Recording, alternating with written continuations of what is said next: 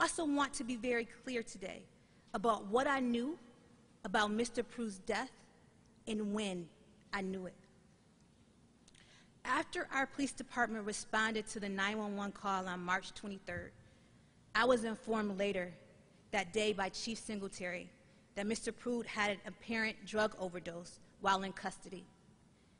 Chief Singletary never informed me of the actions of his officers to forcibly restrain Mr. Prude. I only learned of those officers' actions on August 4th when Corporation Counsel Tim Curtin reviewed the video while fulfilling the FOIL request from Mr. Prude's attorney. At no time prior to August 4th did Chief Singletary or anyone make me aware or show me a video of the actions of the RPD officers involved in Mr. Prude's death.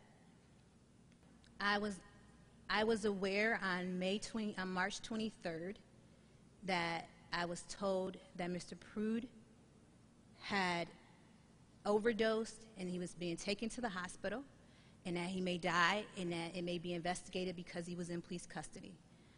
On March 30th, when he passed away, I was notified that he had passed away and that it was being investigated. I was not informed of anything as to Mr. Prude, the Attorney General, the DA, or anything until August 4th when Corporation Counsel notified me and asked me to watch the video. You need to talk to Chief Singletary about what he knew